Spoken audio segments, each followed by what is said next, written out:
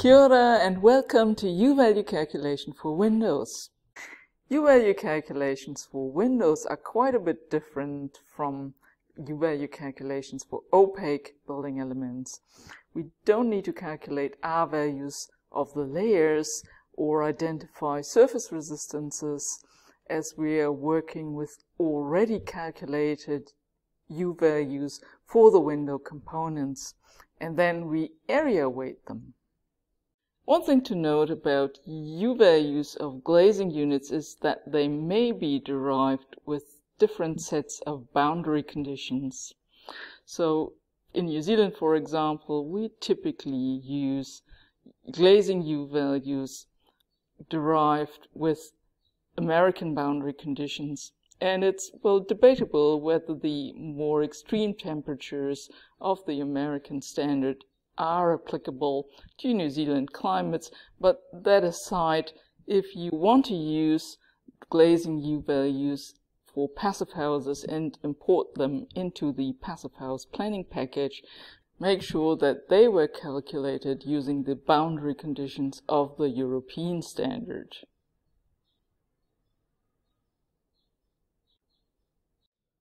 Okay, let's have a look at a window in elevation and cross-section.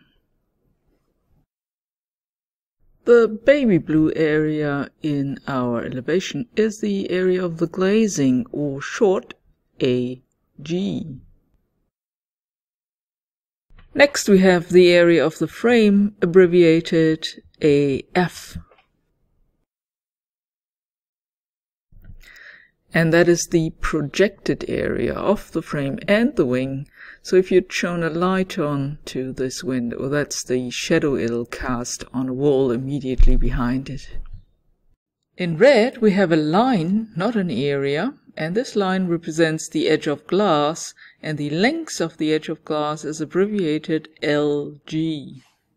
And here's where we find this line in the cross-section. The frame width may vary, for example, between the bottom and the side, so we may need to do the area calculation separately for the components of the window frame. The magnitude of the thermal bridge at the edge of glass may also vary, and we may therefore need to calculate the length of the edge of glass for different components separately as well. Last but not least, there may be separate areas of glazing in our window in consideration and in that case we have to account for these areas separately. Once we figured the geometry of our components we need the thermal properties of those and then we can put it all together in this formula.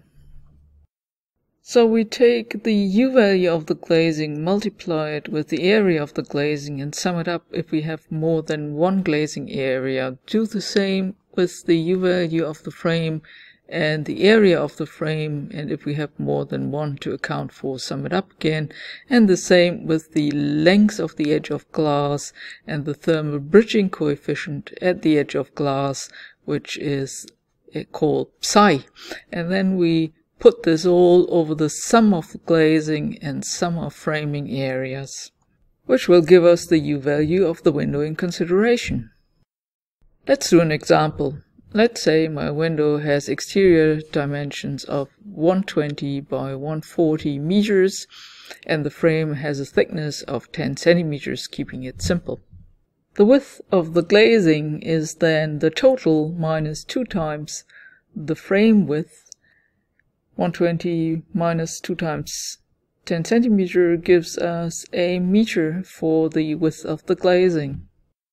And if we do the same for the height, which is 1 meter and 40 centimeters, we get 120 for the glazing height. The area of the glazing is thus 1 meter multiplied by 1 meter and 20, which is 1.20 meters squared. And let's say that we know that the glazing U value or UG for a triple glazing is 0.7 watt per square meter and Kelvin. There are various ways to calculate the framing area, but in our case it's easiest to deduct the glazing area from the total of the window, which leaves us with 0.48 meters squared for the frame. And let's say we know from the manufacturer of this particular frame that it has a framing U value or UF of 0.9 watt per square meter in Kelvin. Next we need to calculate the length of the edge of glass, like so. And we need to know the thermal bridging coefficient or psi value of the edge spacer used in this particular glazing and framing configuration. And we're assuming here a rather low psi value of 0.03 watt per meter and Kelvin. Next, we multiply our performance values with the relevant geometrical values, and then we can cancel out the square meters and meters respectively.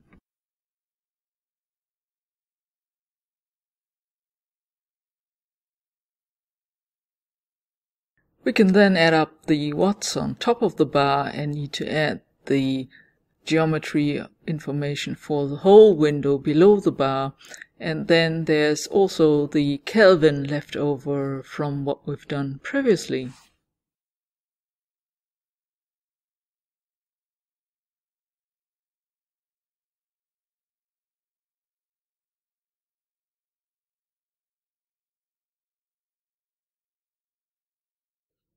Which gives us a result of 1.404 watt over 1.68 square meter times Kelvin. And if we do the division, we get our result as 0.836 watts per square meter and Kelvin, which is the U value of the window we've considered in accordance with International Standard 10077 Part 1.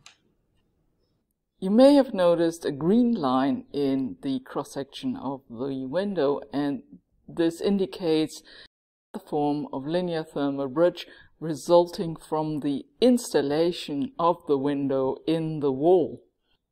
So for the whole picture, you'll also have to calculate this linear thermal bridge, but that's a topic of another video. Thanks for watching.